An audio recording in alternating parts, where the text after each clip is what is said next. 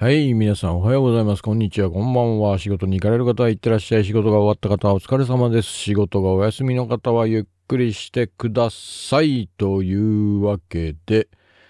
えーリハビリ独り言。今日はね、えーなんで Mac のデスクトップが全然売れないのかという考察ですね。はい。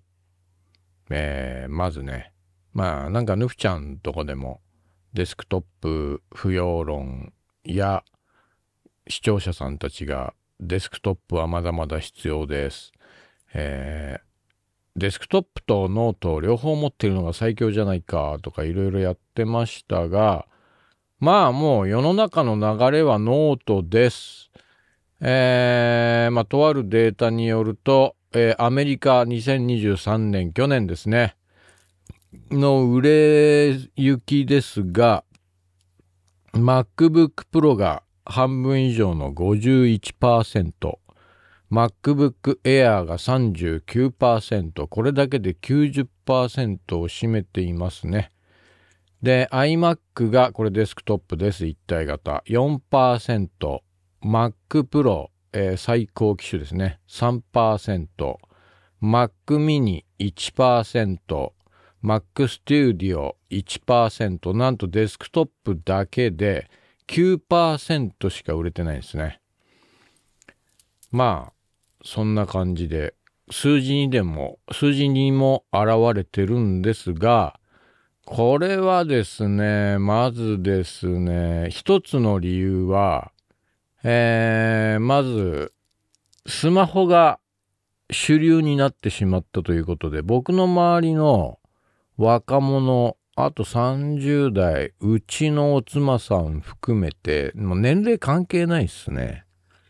もうね、パソコン自宅で使わなくなってます、皆さん。全部スマホです。うちのお妻さんも、えーっと、僕のお下がりのレッツノートとかシンクパッドとかいろいろね、あげてましたが、もう一切使ってないです。えー機種変更した古い Android スマホと、今の Pixel 7a の2台を交互にバッテリー充電しながら使って YouTube 見たりいろいろなんだかんだやってます。みやび見ててもそうです。まあ映画見るときは iPad とかあとね、Amazon Fire Stick でテレビでみたいな感じでやってるみたいですが、結局何が言いたいかというと、もう、パソコンをじゃあ使わざるを得なくなったっていう時に、えー昔と違ってスマホの延長線上にパソコンがあります。で、スマホの画面が基準になってるので、一般の人たち、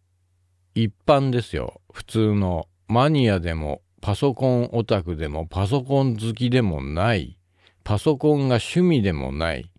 ただ仕事でしか使わない人たち、しょうがなく使う人たち、えーノートパソコン13インチでも14インチでも15インチでも16インチでもスマホに比べたら画面大きいんですよ。で、それで十分なんですよ。っていうか邪魔なんですよ、でかくて。ノートパソコンでさえ。ただ、スマホの延長線上っていうことは、持ち歩ける、どこでも使えるってなってくるとノートになります。なので、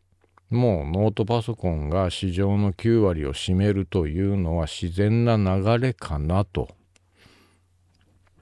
で、デスクトップは、まあ、Mac に限ると、まあ、iMac4%、Mac Pro 3%、Mac mini 1%、Mac Studio 1%といったさんさんたる結果ですが、まあ、これは正しいと思います。もうデスクトップパソコンは、Windows の場合は、まずゲームをやる人、自作 PC を作るのが趣味な人、それ以外はやっぱノートです。もうデスクトップというのはもう、そういう趣味、ゲームする人、マニアを抜けば、特定のデスクトップじゃなきゃできない仕事をするプロなり、えー、エンジニアさんなり、そういう人たち。でも僕の前のエンジニアは皆さんね、えー、ノート使ってる人多いですし、あと会社も今、もう一つの理由、会社もフリーアドレスになってる職場がどんどん増えてます。フリーアドレスってことはデスクトップだと、まあマシンの共有するのはまあ、ユーザー登録してログインしてってやるわけですが、まあ、セキュリティ上いろいろあるし、まあ、リモートと出社と両方やってる会社は、社員にパソコンを貸与、貸与っていうのは貸すことですね。貸与するので会社用のパソコンを。その場合、ノートじゃないと家と会社を持ち歩けないし、で、家と、家でも会社と同じ作業ができて、で、会社に行ったらフリーアドレスで好きなデスクで仕事をするとなるともうノート一択になります。えー、会社の仕事の現場もそうなっております。デスクトップだといちいち、えー、家に持って帰ることもできないし、となってしまうので、まあね、一部ね、なんかサーバー用途でデスクトップが、なんて言ってた人いますが、まあ、サーバーは基本的にラックタイプです。一般の人は使いません。えー、ラックにバンバンバンバンはめてくサーバーが売れてます。えー、Mac とかの、まあ、Mac Studio とか Mac Pro とか Mac mini を、まあ、ファイルサーバーぐらいには個人でする人はいるかもしれませんが、えー、ちゃんとしたサーバーとして運用する人はいないと思います。業務だったらもうラックタイプのサーバーです。で、まあそんな感じでね、結局、なんだろう。僕、まだね、スマホが出てきた頃、iPhone の、まあ HTC でも何でもいいですけど、まあノキアとかいろいろありましたが、あとブラックベリーもありましたけど、パソコンの延長にスマホがあったんですよ。その時代は。パソコンの代わりにちっちゃい携帯でパソコンと同じことができるよっていうのが僕らの時代。昭和平成の時代です。で、スマホ黎明期が終わって iPhone の登場によって、えー、スタンダードになったことでえー、スマホが爆発的に普及してみんなスマホを使うようになって、えー、スマホがあればもう何でもできるからいいじゃんっていうのが当たり前になったところで逆転したんです。スマホの延長上にパソコンになったわけです。パソコンの延長のスマホだったのがスマホの延長のパソコンになったのでメインはスマホなんですねもう今の時代。で、さらにアップルは、じゃあ、どうするかと。そこで出したのがビジョンプロです。これね、デスクトップが売れなくなったのにも関係あるんですが、これ誰も多分言ってる人がいないし、多分、YouTuber の人たちだと言わない、言わないっていうか言えないと思います。えー、プロの IT テックライターとかジャーナリストの人たちは同じ考えの人が結構実はいます。ただ彼ら YouTube やってないので、記事では書いてる人がもしかしたらいるかもしれませんが、全部読んでないので分かりませんが、まあ、僕は、ビジョンプロが出てきた意味というのは、もうパソコンの新しい形で、えー、この Vision Pro を見ていけばわかるんですが、Vision Pro は iOS、iPadOS との親和性が高いです。つまり Mac より iPhone、iPad を優先しています。理由は、使い方がジェスチャーになって視線入力を使ってるので、Mac との親和性が良くないです。で、まあ、iPhone、iPad と同じようなアプリが親和性が高いので、まあ、その空間コンピューターとして Vision Pro を出して、もうデスクトップはやめましょう。ノートパソコンもひょっとしたらいらなくなりますの前振りかもしんないですよね。もうこれからのコンピューターは空間コンピューターだよっていうね。なので、まあ、Mac の画面も1枚しか開かないのかなと思って見てますが、まあ、ビジョンプロについてはまた別で語ってもいいんですが、まあ、しばらく語ってなかったんで、今日ちょっと深く語ってもいいんですが、気分ですが、えーね、まあ結局、ビジョンプロっていうのは、アップルお得意の原型なんですよね。この原型って意味わかんないでしょ、言われても。アップルって今スタンダードになってるものの原型を出し続けてきてる企業なんですよ。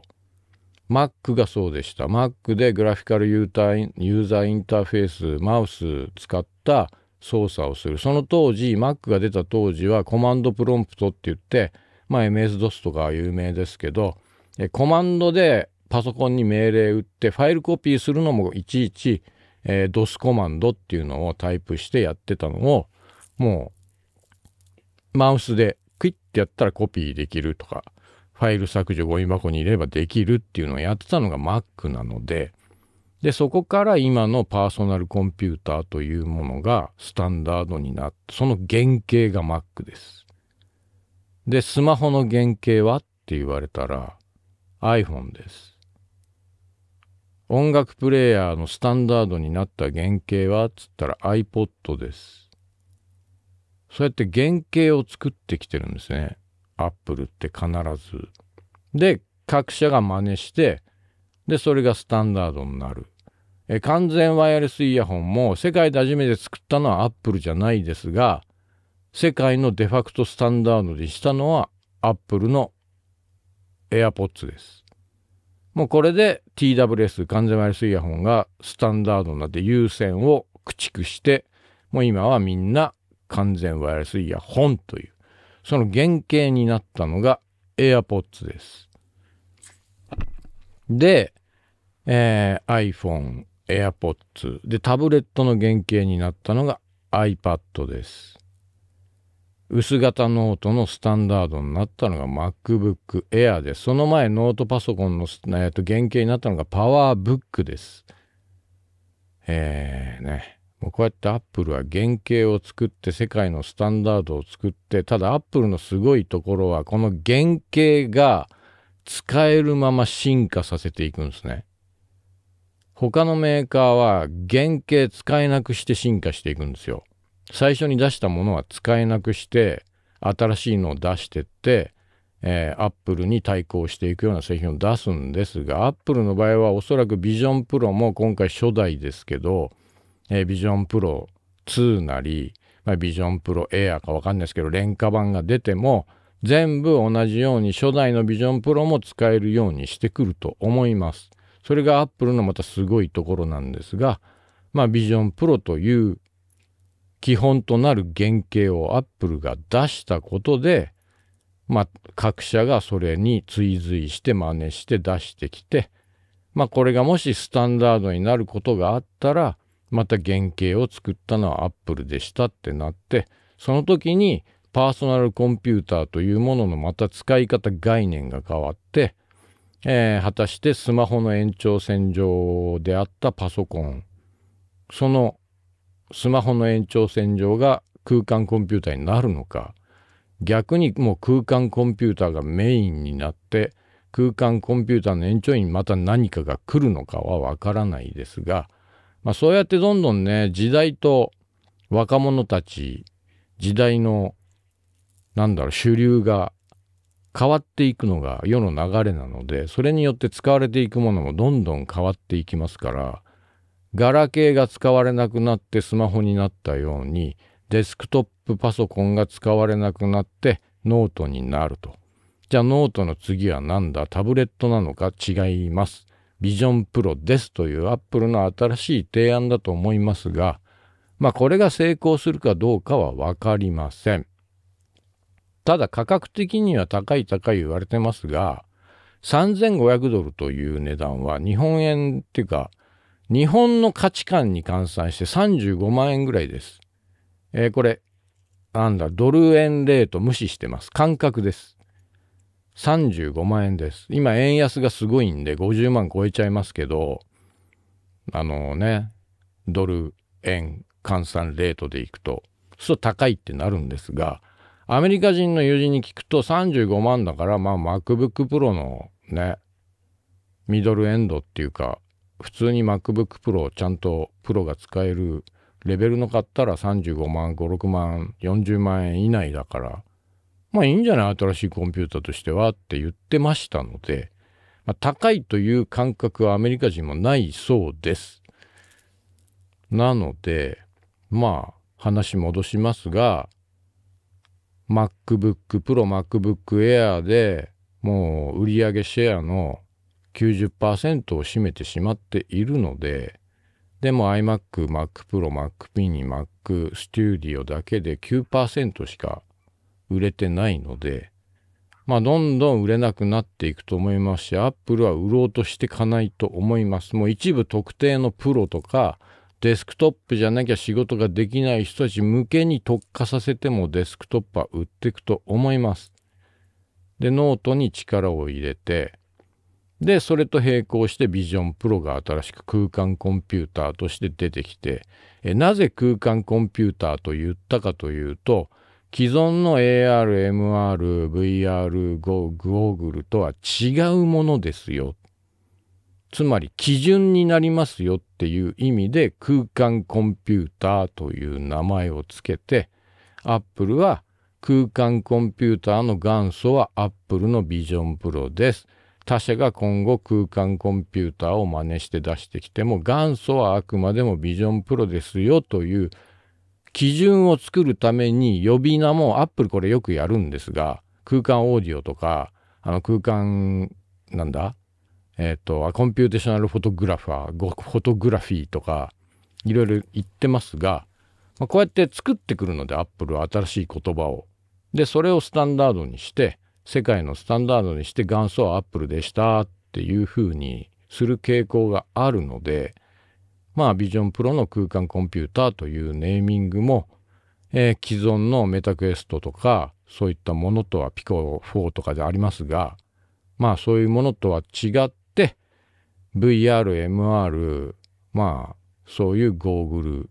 とは違ってこれは空間コンピューターですよっていうのでえー、ちゃんと基準始まりとなるように